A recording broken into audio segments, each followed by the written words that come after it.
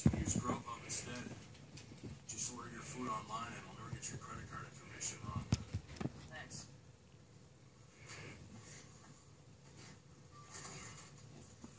You have a lovely home. Order online for free from local restaurants. Grubhub. Click, click, food.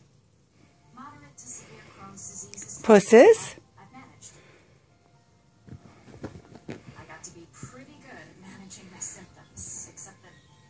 Managing my symptoms was all I was doing.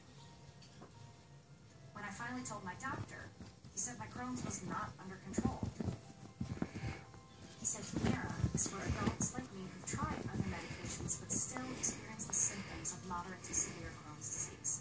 And that in clinical studies, the majority of patients on Humira saw significant symptom relief,